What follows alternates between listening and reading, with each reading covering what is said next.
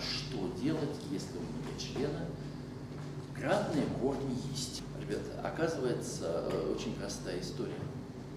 Э, в таком случае не надо выписывать э, вот, вот эту последовательность, а нужно просто-напросто эти корни, что называется, выявить.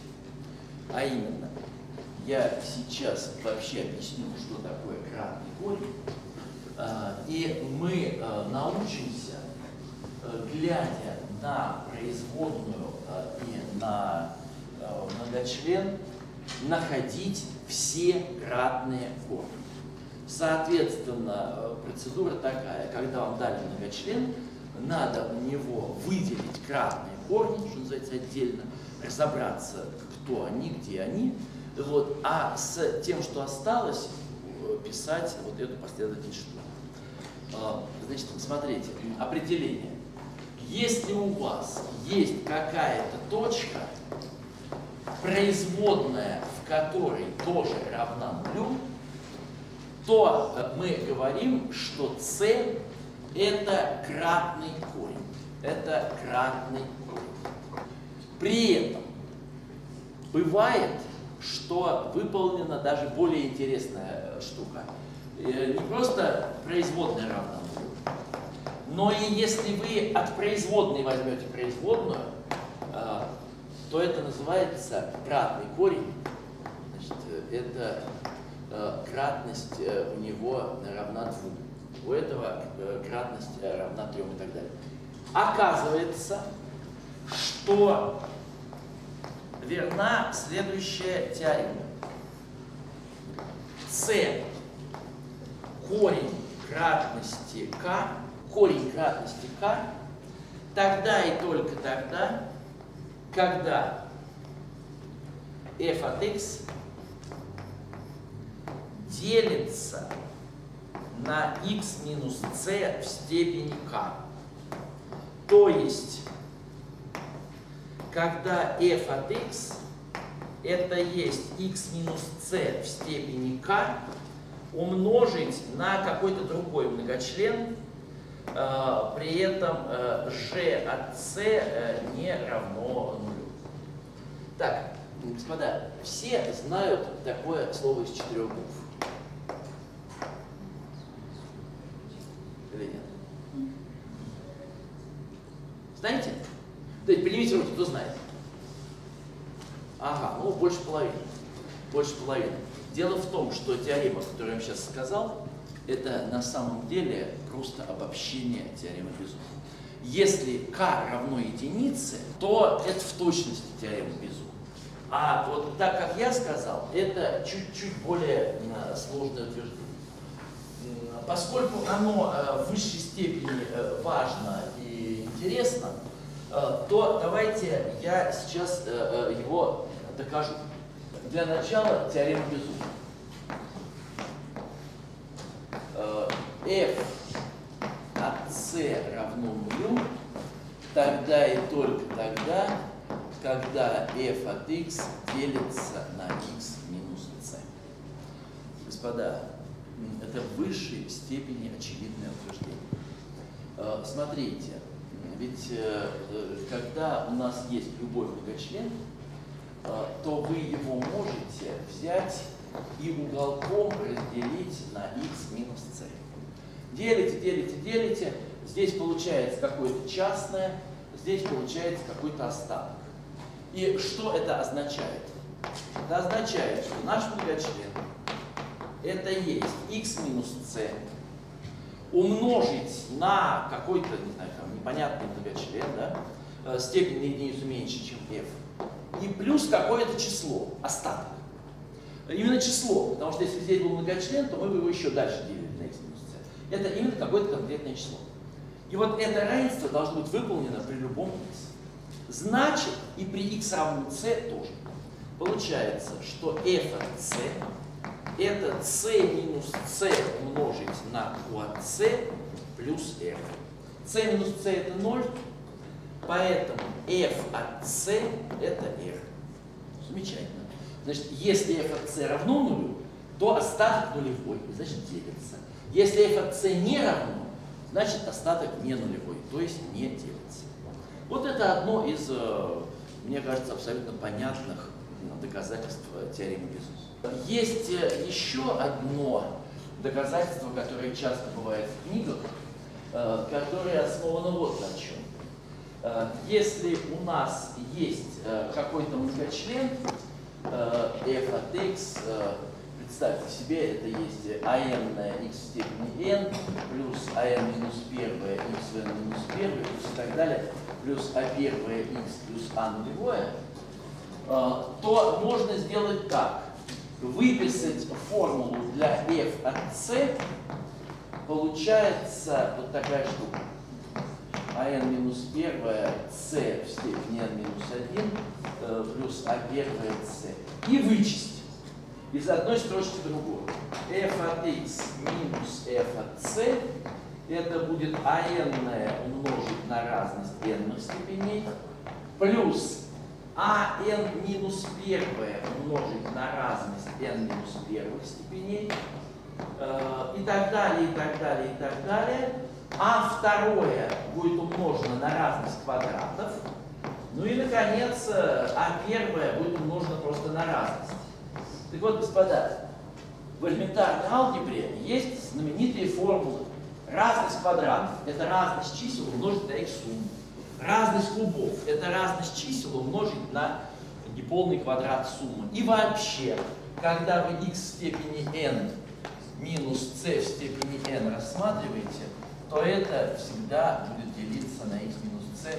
В общем, кому интересно, проверьте, поделите, честное слово, все будет. Да? Это знаменитая формула суммы геометрической прогрессии. Таким образом, теорема Безуверна, правда, нам нужна не она. Нам э, нужно то же самое, только для кратных корней. А очень просто.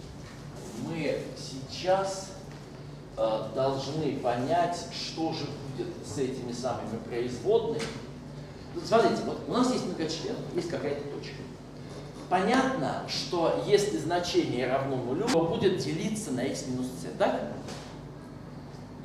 Сейчас мы должны понять, что вот у нас есть э, точка c, мы поделили на э, x минус c, получился опять многочлен. У него может быть 0 э, в точке c, это может быть корень, а может быть не корень, э, и так далее, и так далее. Мы будем потихонечку делить на x минус c, пока можно. И таким образом у нас э, любой многочлен всегда можно записать, если у него есть c корень, как x минус c в какой-то степени умножить на многочлен, который не равен нулю. Да? Вот давайте, э, я уже писал эту формулу там, сейчас еще перепишу здесь. f от x, значит, делили, делили, делили, на x минус c пока делилось. Э, и получилась вот э, такая штука. Там есть какой-то многочлен g от x, и известно, что g от x в точке c не равен нулю. И вот, господа, сейчас очень важная вещь. Я должен понять, как ведет себя производная. Ну, для этого надо уметь дифференцировать произведение. Мы с вами уже умеем э, дифференцировать произведение двух множителей. Это на самом деле не то, что, я, что мне сейчас нужно, но это почти то, что нужно, поэтому мы справимся. Итак, что такое f' от x? Это есть производная вот этой штуки. x минус c в степени k штрих умножить на g от x. Плюс x минус c в степени k умножить на g штрих. Вот, э, ребят, сейчас проблема. А, а как дифференцировать x минус c в степени k? Ответ. А вообще-то при сдвиге вдоль оси абсцисс э, с направлением касательно ничего не происходит.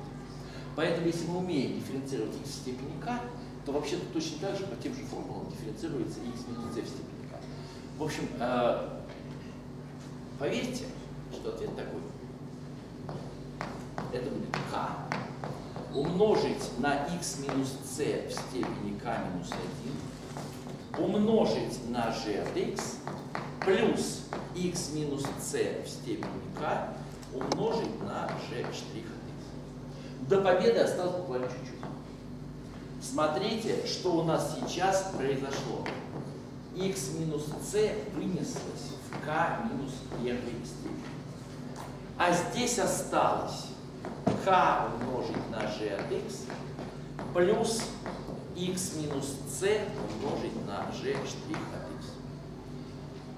Вот, э, господа, смотрите, f от x делилось на катую степень. Видите? А f' штрих от x делится на какую степень? На k минус первую. И если вы вместо x сюда подставите c, то вот это будет 0, а здесь будет не 0. k умножить на g от c это не 0, потому что g от c это не 0. Значит, вот это мы, это, так сказать, новое g. И получилось, что при переходе к производной у нас на единичку здесь показатель степени уменьшится. Именно поэтому, если вы продифференцируете некоторое количество раз, то в какой-то момент, э, и даже не в какой-то, а вот именно в такой момент, вы э, получите не ноль. Значит, э, сколько у нас вот, вот здесь вот чисел, такая и называется кратность. Да?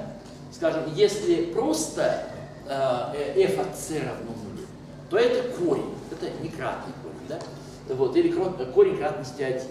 Э, если у вас э, э, корень и производные равны нулю, то это называется касание порядка 2. Да? Касание. Если так, то это уже корень большей кратности. И так далее, и так далее, и так далее. Ну и что? Собственно говоря, а какое это имеет отношение к нашей задаче, как э, из этого искать э, кратные корни. А очень просто. f от x делится на x минус c в k степени. F' от x делится на x минус c в k минус 1. Значит, получается, что эти два члена делятся на x минус c в k минус 1 степени и функция, и производная делятся на x минус c в степени k минус 1.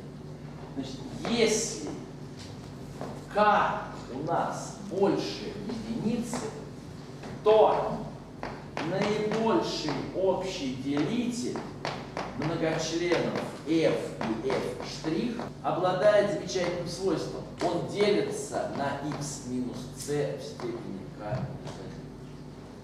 Ребята, значит, для того, чтобы искать кратный корень, на самом деле надо искать наибольший общий делитель. А наибольший общий делитель это что? Это алгоритм Евклида. Все помнят? И для чисел это алгоритм Евклида, и здесь это и дальше замечательная вещь. В той последовательности штурма, которую я вам писал, был многочлен f, его производная, потом с минусом остаток отделения многочленного производного и так далее. Каждый раз берем остаток с минусом. Но, господа, согласитесь, в этих формулах поменять, что называется, минус на плюс, и у многочлена изменить знак, это не проблема. И получается, что фактически с точностью до вот этих вот знаков у многочленов Э, когда мы выписываем последовательность штурма, это в точности то же самое, что когда мы выписываем алгоритм Евклида. То есть ведь на самом деле, что такое вот эта вот теорема штурма, которую я сегодня рассказывал?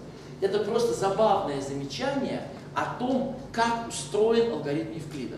Он просто догадался, что там нужно э, написать в одном месте, ну, правда, во всех формулах, но тем не менее, перед остатком написать минус. А так-то это самый обычный алгоритм Евклида.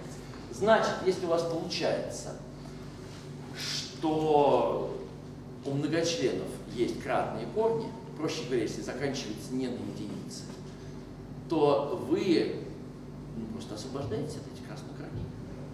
Э, вы исходный многочлен f делите на x минус э, эти самые кратные корни, да, вот эти многочлены, и уже получается многочлен без кратных корней, с которым можно работать. Теперь, чтобы убедить вас, что это действительно работает, давайте э, все-таки не поленимся э, и сделаем так. Э, для многочлена второй степени и для многочлена э, третьей степени выпишем последовательность штурма явную